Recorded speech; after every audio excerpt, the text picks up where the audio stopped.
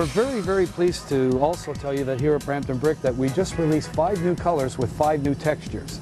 And the texture is a texture that a lot of the other brick manufacturers, what they have to do is they have to take this product and basically in essence run the product, let it fall to the ground to get this type of effect that you can see on the brick right here. And you can see it here, for example, here, and here.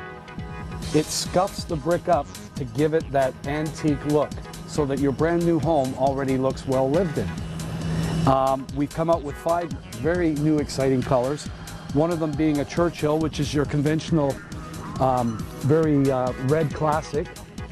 Another one being the Del Rio right here. And again, you can see that it's got the um, scuffing marking on it as well. And another one of the new colors that we came out with is the Manchester. And again, it's got that same texture on it, very antique looking. And you'll find that other brick manufacturers will charge you an increase for this. I like to call it peace of mind purchasing. All of our product that we offer to the housing market is all at one price.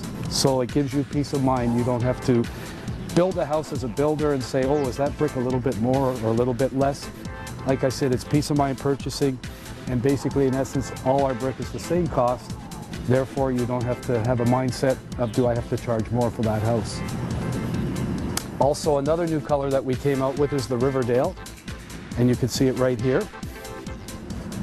And again, it's got that, for lack of a better word, hacking look to it that really, really, I think gives it a classic look. And the other new color we have right here is Madison County.